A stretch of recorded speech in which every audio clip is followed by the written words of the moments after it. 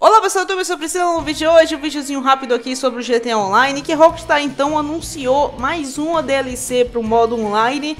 Essa DLC vai sair agora em dezembro e ela ainda não anunciou uma data específica. Eu vou deixar aqui na descrição, obviamente, lá o site Social Club para vocês olharem lá também. E eu vou mostrar aqui para vocês as imagens que foram liberadas por ela. E eu falar um pouco também da DLC, né? O nome da DLC será Importação e Exportação, né? Que vai chegar agora em dezembro. E ela até menciona aqui a Muamba e tal, então seria um esquema parecido com a Muamba. Aí você vai pensar, ai meu Deus, eu não quero mais isso. Calma aí, Genivaldo. Como é que vai funcionar essa DLC? Essa DLC, pelo que eu li aqui, ela vai ser focada mais no roubo de carro. Veículos de luxo, veículos exóticos, como ela mesmo colocou aqui. Então a gente vai roubar esses veículos, personalizar, pelo que eu vi, dá pra gente personalizar também e vender por um valor muito alto, como ela colocou aqui. Então os lucros vai ser serão altos, como ela falou aqui. E ela faz um gancho também aquela DLC, né, que foi a beira da lei, que saiu há pouco tempo, meio que vai ter uma ligação. Eu vou explicar já o porquê. Então, depois que a gente roubar esses veículos, a gente pode melhorar eles, modificar e vender esses veículos. Então, vai ser basicamente uma concessionária que a gente vai ter de veículos roubados, né? Veículos de luxo, de alto custo.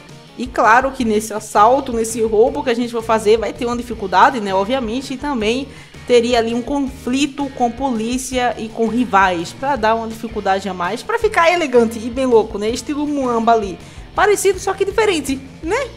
E para mim agora a coisa mais importante que tem nessa DLC, a gente vai poder comprar um galpão, galpões, tem aqui novos galpões que cabe até 60 carros dentro. Ai meu Deus, eu vou guardar meus carros tudo em lá que eu tô sem espaço. Calma, Genivaldo. Eu acho que esses galpões aí que ela fala que vai caber, né, quase uma concessionária realmente, 60 veículos são para os veículos que a gente roubar. Eu acho que os pessoais não vai dar pra gente guardar lá. Eu só acho, não tenho certeza porque ela não fala aqui na postagem.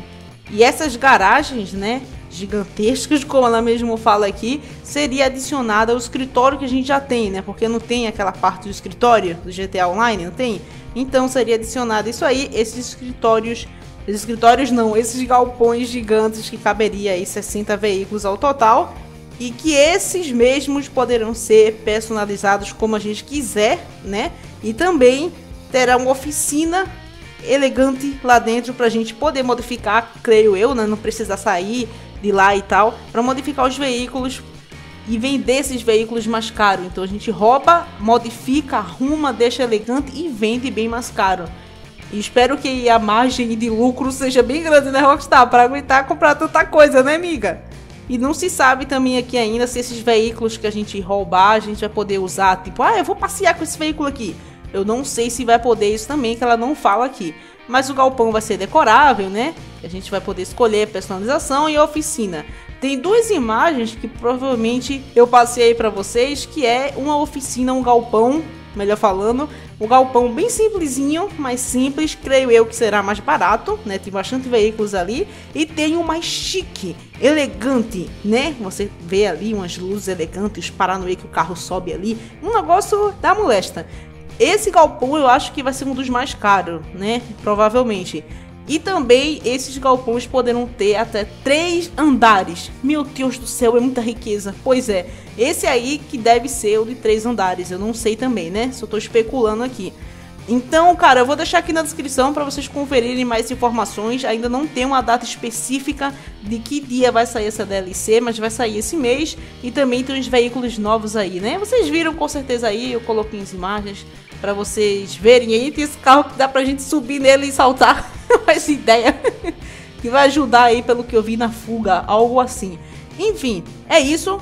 Tá aqui então um resumo dessa nova DLC que vai chegar esse ano pro GTA Online. Óbvio que quando sair, no mesmo dia eu trago para vocês todas as novidades, os galpões, os veículos, como é que funcionam os roubos.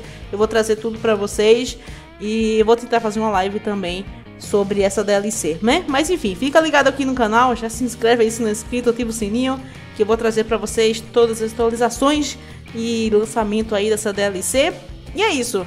Espero que vocês tenham gostado do vídeo. Se gostou, deixa aquela avaliação, deixa aquele like. Comenta aí embaixo se vocês vão comprar, se vocês acharam. Ah, cara, eu vou comprar nada. Preguiça. Não sei, comenta aí, né?